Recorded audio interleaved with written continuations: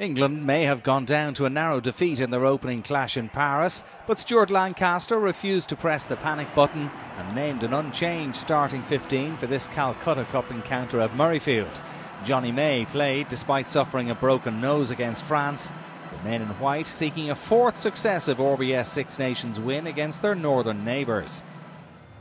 Scotland's last championship success came in 1999, and defeat in this game would mean that that barren run was likely to continue. The pyrotechnics pre match were impressive, but would the men wearing the Scottish jerseys be able to produce similar fireworks on the pitch? Interim coach Scott Johnson made three changes for this game. Flanker Chris Fusaro came in for his debut in place of captain Kelly Brown. Tommy Seymour replaced the injured Sean Maitland. And Matt Scott started at inside centre with Duncan Taylor dropping to the bench. Greig Laidlaw captained the side. England were on top early on, and after Owen Farrell had missed an easy penalty having slipped on the greasy underfoot conditions, Danny Care eventually broke the deadlock with a clever drop goal from 35 metres in the fifth minute. This was the second match in a row where Care had scored with a drop having also clipped one over against France in Paris.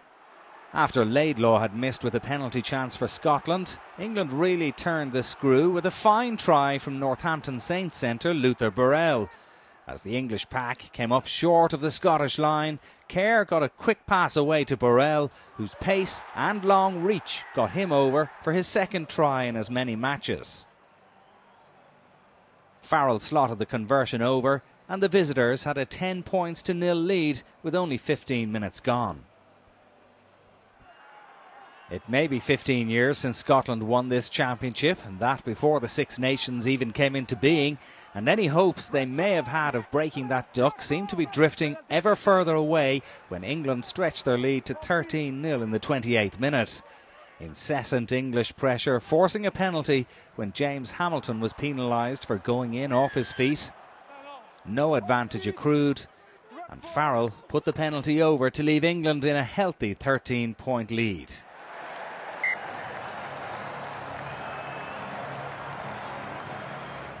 As the first half drew to a close, England had one more attack.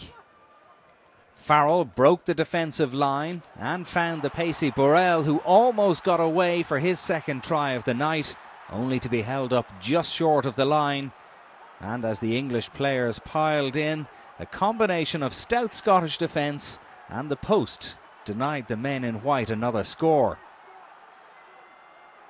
So at half time, England led 13 0, Stuart Lancaster's men firmly in control.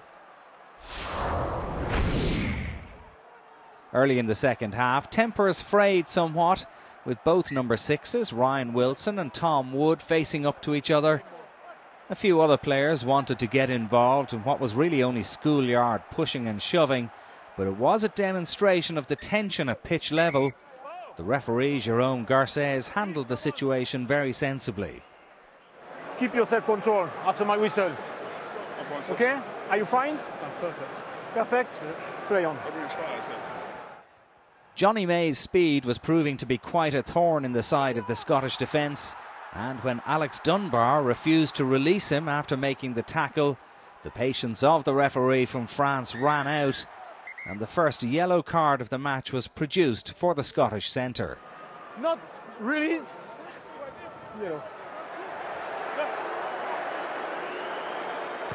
The Scots may have been trailing on the scoreboard and numerically on the pitch, but their supporters gave the team great encouragement and refused to stop singing. However, in the 58th minute, England took advantage of that extra man and put clear ground between themselves and the Scots. Any slim hopes the home side may have harboured of a comeback were well and truly dashed when Jack Nowell found his fullback Mike Brown, and like Burrell before him, Brown crossed the line for a try, his second in as many internationals, and a performance that would earn him RBS Man of the Match. When Farrell converted, it was 20 0, and England could start thinking of their next game against Ireland at Twickenham. This one fizzled out as a contest. Substitutions broke the flow of the game, and with underfoot conditions worsening, it made it difficult for the players. Scotland couldn't really get anything going. And as the game drifted towards full time, it was England who could celebrate a fourth successive Six Nations win over the Scots and a first win in this season's campaign. Scotland held scoreless in this fixture for the first time since 1978, are possibly more concerned about avoiding the wooden spoon now than winning the championship. They take on Italy in Rome next. But as the stadium emptied in Edinburgh, Chris Robshaw lifted the Calcutta Cup once again. For him and his England colleagues, there's other silverware on their minds, no doubt. Final score at Murrayfield, Scotland nil, England 20.